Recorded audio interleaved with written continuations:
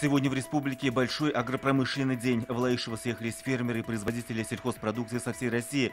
Рустаму Миниханову представили новинки техники и оборудования. Затем прошла научная конференция по проблемам аграрной науки. В международном аэропорту Казани сегодня журналисты увидели работу санитарно-карантинного пункта. Заболевших выявляют с помощью специальной видеокамеры. В дни чемпионата такую проверку проходят пассажиры международных и федеральных рейсов. В Татарстане указом президента создан комитет по охране объектов культурного наследия. Главная задача нового органа – совершенствование госуправления в сфере сохранения, использования, популяризации охраны объектов культурного наследия. Председателем комитета назначен Иван Гущин.